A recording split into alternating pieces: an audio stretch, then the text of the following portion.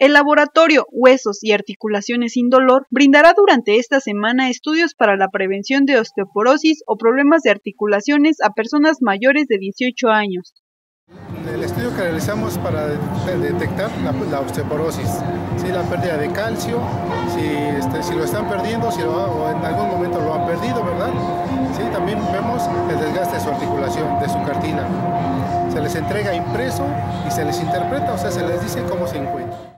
El estudio tendrá un costo de 30 pesos y se podrá hacer estudios de valoración de enfermedades como osteoporosis, osteoartritis o artritis en los ixtapaluquenses que lo soliciten.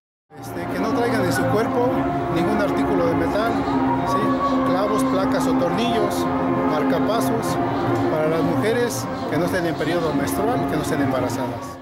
En el estudio se solicitan datos básicos como nombre completo, edad, estatura y peso. Posteriormente se realiza un escaneo celular que tiene una duración de minuto y medio en el que se podrá detectar si hay pérdida de calcio, enfermedades, desgaste en articulaciones y cartílagos. La mayoría de la población, principalmente jóvenes, presentan pérdida de calcio y desgaste en articulaciones provocadas por el consumo de alcohol, café, cigarro y la mala alimentación. Pues nada más que es muy importante realizarse el estudio, ¿verdad?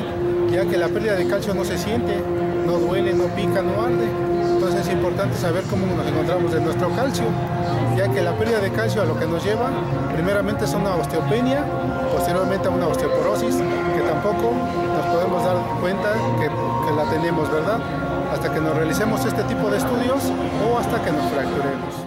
Para todos los interesados, la campaña estará instalada desde este lunes hasta el próximo 18 de diciembre frente al edificio del DIF de Ixtapaluca en un horario de 10 de la mañana a 3 de la tarde. Informó para Canal 6 Adive Núñez.